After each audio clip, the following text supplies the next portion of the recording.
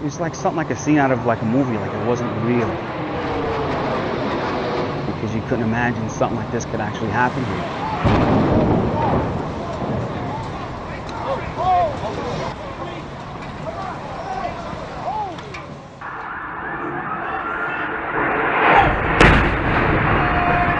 There's the other pole, there's Paris. Other building. That's the other building. That's terrorists. Other building? That's terrorists, bro.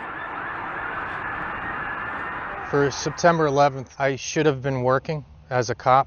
I would have been in, uh, in downtown Manhattan. Uh, but prior week, Friday, I had missed my annual training, and my National Guard unit asked me if I'd like to do recruiting and to make up my annual training, and I, I agreed to it. I was actually having breakfast in my armory, and uh, we saw, you know, on the news like everyone else did, saw the planes hit. You know, it was a big concern because I know my, my family, the other cops, were going to be down there, and uh, more than that, my partner uh, worked in Manhattan and he was going to be there. His command had called me and said uh, Mark's missing, and they were sending state troopers to go notify his family. And uh, they said you you know you have to do it.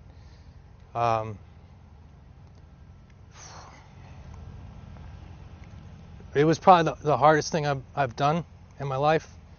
Uh, I didn't I didn't want to do it, but I, I knew it had to be me. We did his wake on the 23rd, and we buried him on Christmas Eve. Uh, that morning I got off around 8 o'clock and I was on the Brooklyn Queens Expressway on the Kosciuszko Bridge and I just happened to look off about 2 o'clock and it looked like something exploded from the Trade Center. And when I had got to my first stop there in Brooklyn, they said that uh, a plane plane hit the Trade Center. And then over the radio, they had recalled everybody in. So everybody went back to their respective firehouses. By the time we got down there, you know, we were just basically searching for any survivors. You know, it was a very family-oriented job. So you had a lot of families looking, uncles looking for their nephews, fathers looking for their sons, sons looking for their fathers, brothers looking for their brothers. And it was very difficult to deal with that. I retired last uh, September. Um, I took a little break, you know, and this popped up, and I see, see something, you know, I'd like to do. You know, it's it's kind, it's, it's very beautiful here. It's peaceful, it's serene, it's respectful. The people I work with are really great. You know, you don't find that everywhere. You know, and it's it's just a good feel. Like I get along well with the others here. I really enjoy working here. You know, I'm I'm very proud to be here. Yeah, it's true. Like you see, like the families. Like I worked I, right now. I'm in internment, and I worked at committal. And let's face it, it's the last stop on the L line. You know, and you try to do something nice for the families, make everything nice, set up the chairs, and they really do appreciate it. Like the cemetery representatives, how they are with the families. It's you know, it's awesome. And you see like that you, that you give them that peace at the end. You know, and I think that's important. You know, and I, that's what I think I'm most proud of that here.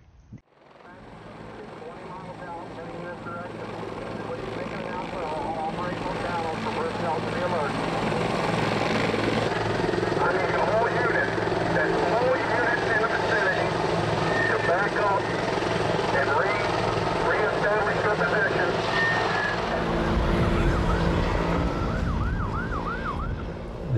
part of the building where the G1 was, was at was the part of the building that had just been renovated. And the G1 was in the process of moving into that section. Everybody wasn't in their offices yet, probably about 50%. But it was the new construction had been fortified, blast proof windows, uh, extra, you know, uh, concrete, extra um, devices in the concrete and everything to protect the people in there. Um, and that's that's where the airplane hit. The airplane hit where the uh, the extra stuff was. The airplane went right through the meeting um, that I was in. Um, of course, I wasn't there. I was uh, down the hall making copies. Um, uh, everybody in that room died.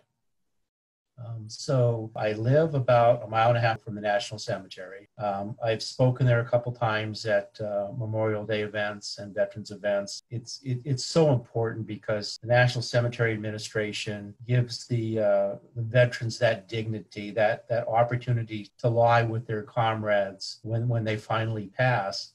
You're always going to get that headstone, and that's just so important to veterans and family members on the scene, as we're saying there, near Shanksville, a small town in Somerset County, about 80 miles south of Pittsburgh.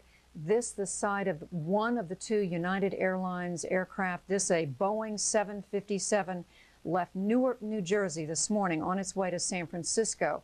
Those poor people that were on the plane that knew what was eventually going to happen and nothing could be done about it. You know, although they, they tried valiantly, the same thing at the Pentagon. As terrible a situation as the towers in New York, you know, I think we have a habit of forgetting about, you know, the one in Pennsylvania and the one in the Pentagon.